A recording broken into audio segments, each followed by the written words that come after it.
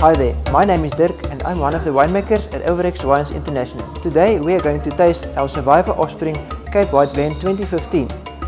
This is a beautifully structured blend of 60% Chenin Blanc, 30% Sauvignon Blanc and 10% Viognier. The 2016 harvest was significantly smaller than the past three years and it was also one of the driest growing seasons ever.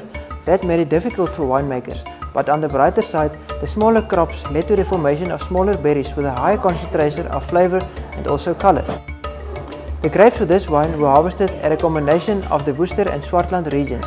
Grapes were harvested at a sugar level of about 22 to 24 degrees Balling and it was picked early in the morning to get a cold temperature for cellar intake. After crushing, the Sauvignon Blanc received skin contact for approximately 3 hours while the Chenin Blanc and Viognier were pressed immediately. After settling, the juice was then racked into stainless steel tanks for alcoholic fermentation to commence.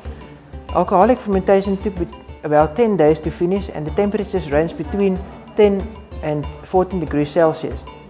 After alcoholic fermentation, bâtonnage was applied to every tank once a day for a month. This means the yeast was stirred in order to release volatile and fruity flavors into the wine. And now for the tasting. This versatile wine can be enjoyed with fresh sushi, steamed mussel or even a great pasta. Enjoy!